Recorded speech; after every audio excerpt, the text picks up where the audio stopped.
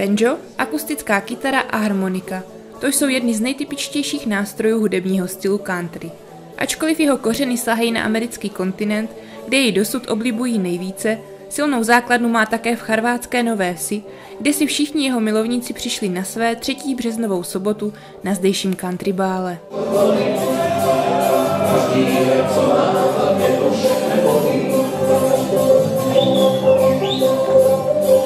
O popularitu country v charvátské Nové Vsi se zasadila skupina amatérských tanečníků Country Rebels pod vedením Líby Vojtekové. Na devátém ročníku zdejšího country bálu předvedli nejen své taneční umění.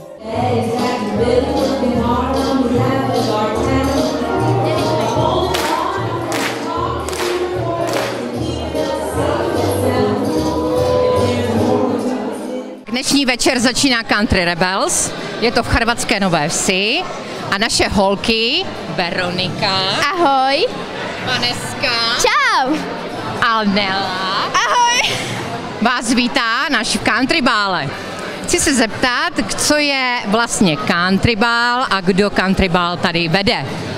Takže vede Country eh, Rebels eh, Liba Vojtichová. Country Rebels není jenom country, to i line dance z Chorvatské Nové Vsi Sokol. Chorvatská Nová Ves Sokol. Správně. Vanesko, co je to line dance? Line dance je tenis v řadách a nepotřebujeme, nepotřebujeme k tomu partnera. Výborně. A jaká věková kategorie je v Country Rebels? Country Rebels je od 9 do 69 a vede to Liba Vojteková. A tohle je naše nejmladší kategorie. Na plese panovala velmi srdečná nálada, a to jak mezi samotnými organizátory a účinkujícími, tak mezi hosty country bálu. Tančíš? Ano, občas aj, Tančíš na bále? vždycky a pravidelně. Takže keca? No, mně se to tady teda osobně líbí, protože já se bavím. Bavíš se výborně. Já jsem velmi ráda chodím, protože se zúčastňuji každý rok a je něco úžasného, co moje drahá sestra tady vždycky předvádí na každé scénce. Záležitostí, na kterou se mnozí hosté plesů obecně těší nejvíce, je bohatá tombola. Ta na country bále nemohla chybět. Co nás čeká v tombole?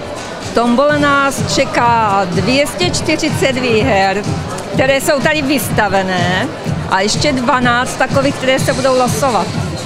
Tak to se moc těšíme. A už jste někdo něco vyhráli? Já jo, kosmetiky, kosmetiku z očmída. Ano, to je všechno. A pak finále. Jednou z nejoblíbenějších částí plesu a zlatým hřebem večera bývá tolik populární hraná scénka. Jaký příběh si účinkující připravili letos? Bude to takový typický sobotní večer v typicky české rodině, kde vícečetná rodina se tahá o televizní ovládač. Děj scény je takový, že vlastně se bude odehrávat televizní obrazovce a budou tam probíhat typicky české pořady, jako televariete, seriál Sanitka, úžasné televizní noviny, úžasný večerníček A Labutí jezero. a Petr Bezruč, Ostrava. To je naše Sabina, velmi úžasná tanečnice, eh, která se účastní taky scénky Country Rebels. Bude hrát jako eh, s Aby, jedna účastnice a určitě nám něco o tom řekne. Tak eh, skupina ABBA je nádherná kapela se dvěma krásnýma ženskýma tancujícíma, takže já si to jenom užiju. Bude to krásná imitace, musíte se na to fakt těšit. A budeme mít velmi krátké šatičky. Těšte se.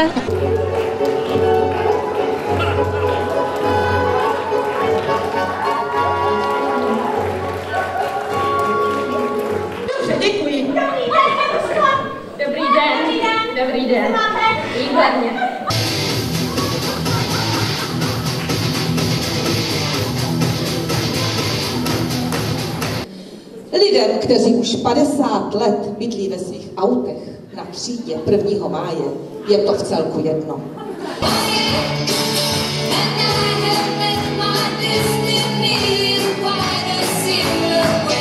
Ačkoliv jsou pořadatelé za téměř desítku let zkušení a s přípravou akce si lehce poradí, Neznamená to, že by ji brali na lehkou váhu, právě naopak.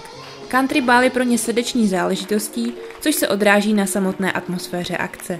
Kolik obnáší času a trpělivosti, aby se zřídil takový krásný ples, jako je country ball? Dva měsíce při, přípravy, jako na... Pouhé dva měsíce přípravy. Pouhé dva měsíce přípravy. Ale o to se stará paní Vojteková a ty taky ne. Snažím se. Snažím se o to starat samozřejmě. Příprava je jaká konkrétně?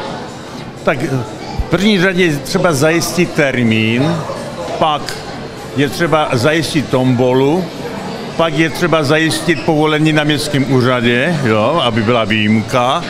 No a pak eh, stačí, aby se natrénovala scénka.